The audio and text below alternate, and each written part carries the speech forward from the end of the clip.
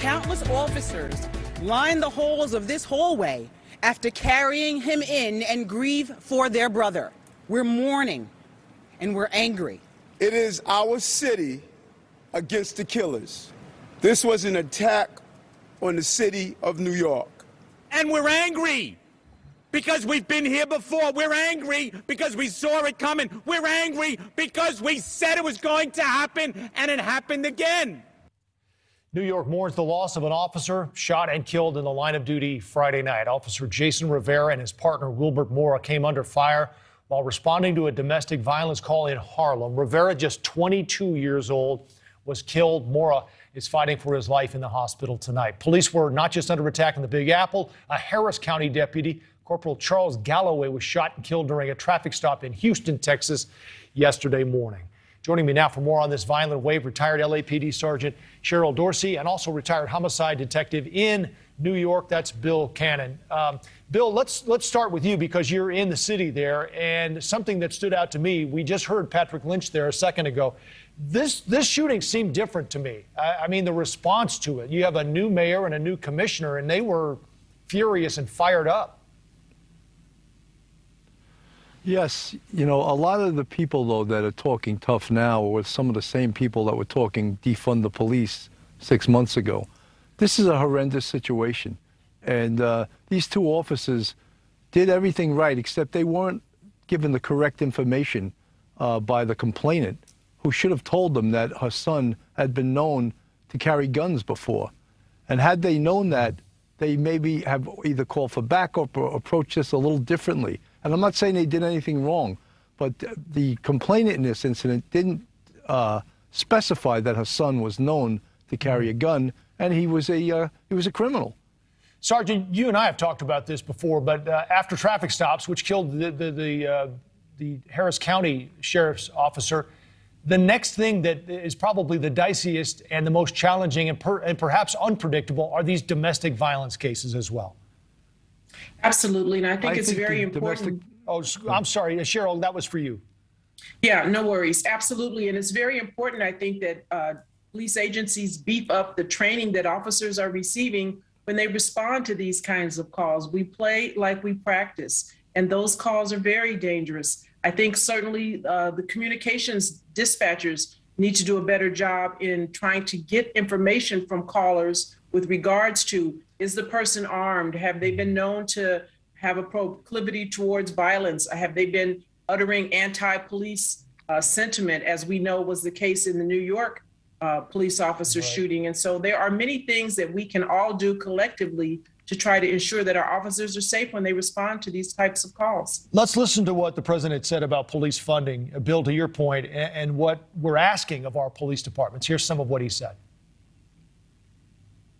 We shouldn't be cutting funding for police departments. I propose increasing funding.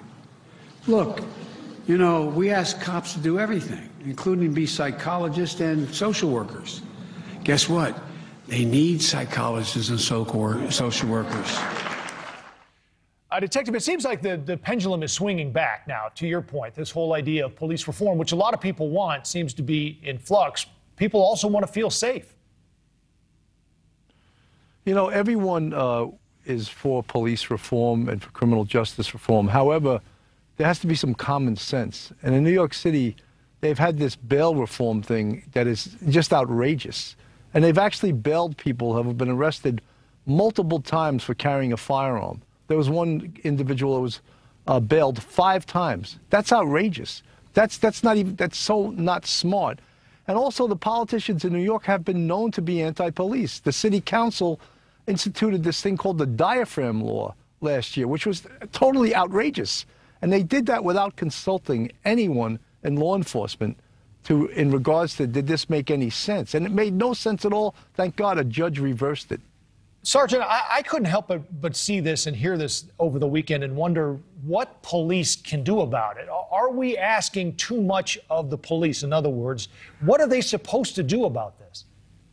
A lot of this is inherent to police work, and we just have to be mindful. And training is a is an important part of that. Complacency kills. We respond to these types of calls over and over, day in and day out. And so it's imperative that officers understand that these are the types of situations that can get you hurt and have a plan A and a plan B just in case things go sideways. I think it's always better to have more officers on scene, and I wouldn't be opposed to any of my officers asking for backup when ordinarily they wouldn't. Uh, Detective, let's you mentioned this about some of the reactions from the past, and this is also getting a lot of play in New York as well. There was a councilman there saying just two weeks ago, NYPD is still the biggest gang in New York City, and then after the shooting, saying, "I stand with the families of the fallen." Um, I don't know, Bill, but this this rookie who was killed joined to make a difference, and th- this is the kind of recruit you you want to see and, and even clone. Look, these these young cops were heroes in every sense of the word. Uh, they, you know, this could happen to veteran cops also. And you know, I, I, the sergeant uh, from uh, I echo her sentiments. Training is a great thing, and cops love to go to training. However, when politicians talk about training, they really don't mean it because it costs a lot of money to train cops and to send them to training. Because when you send cops to training, they're off the road. They're not on patrol. So it costs a lot of money. So they, they say that when something goes wrong, but they really don't mean it. Uh, and I know that from 27 years on the NYPD. They talk a lot, they talk, talk a good story, but when it comes down to it, they really don't mean it. Sergeant, where do we start with this? Uh, I mean, there were several cities that set homicide records. Um, I, I, just couldn't help but wonder about how we revered uh, first responders not too long ago, uh, called them our finest. Do you think that's still the case? Well, in certain segments, I think of society, there there's certainly an anti-police sentiment, and so uh, we can't pretend that that ex- doesn't exist. I think um, you know community-based policing was something that worked very well here on the Los Angeles Police Department. I think you need to build the the, the bridge that's between uh, the gap that's between community police. Uh, I think officers need to have a sense of I know you, you know me, I trust you, and you can trust me when they respond to these radio calls because many departments don't have the benefit of backout backup and you need mm-hmm. to know that the community is supporting you in your endeavors to provide quality of life issues and keep them safe.